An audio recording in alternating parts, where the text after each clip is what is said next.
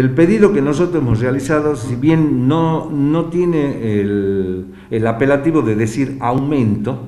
sino que es solicitar la readecuación a la tarifa de taxi que le corresponde de acuerdo, digamos, a la época del año. Porque nosotros tenemos en el mes de junio y en el mes de diciembre la readecuación tarifaria que bien, digamos, eh, la, la, MT eh, saca el coeficiente que tiene que agregarle a la tarifa actual. Si coincide que sea un 30%, bueno, bienvenido sea. Eh, nosotros sabemos, digamos, que todos los insumos, el combustible, etcétera, etcétera, etcétera, que tiene que ver con el servicio, con el sistema en el cual nosotros estamos trabajando,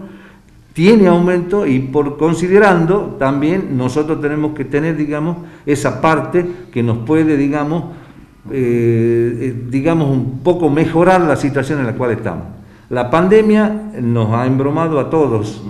Eh, si bien eh, también yo considero que la pandemia la hizo la intendenta con el tema de la ciclovía, en la cual nos vemos perjudicados con las paradas de la calle Belgrano y ahora, como saben, digamos, el conocimiento público también se va a afectar la calle Alvarado. Bueno, eh,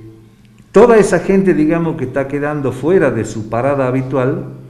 nos estamos juntando con las otras paradas. Entonces, la determinación de hacer eso implica que nosotros, en vez de hacer tres viajes por día, a lo mejor hacemos un viaje y medio, por la cantidad de gente que se está, eh, digamos, encontrando en un lugar de trabajo compatible con el resto de la gente.